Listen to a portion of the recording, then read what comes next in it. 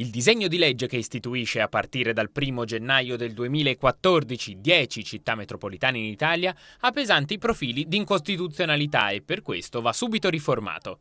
A dirlo è Antonio Saitta, numero uno dell'Unione delle Province Italiane e presidente di quella di Torino, arrivato a Firenze per mettere nero su bianco insieme ai colleghi delle altre nove future città metropolitane una proposta di modifica da presentare al Parlamento e al Ministro per gli affari regionali Graziano Del Rio.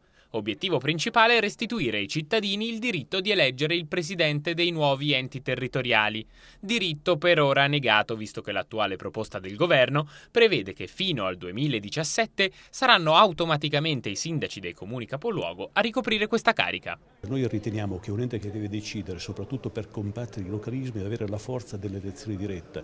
Un sindaco metropolitano eletto da tutti, un consiglio eletto da parte di tutti gli permette di non subire i ricatti dei localismi meccanismi che sono i grandi problemi che un ente di area vasta deve affrontare.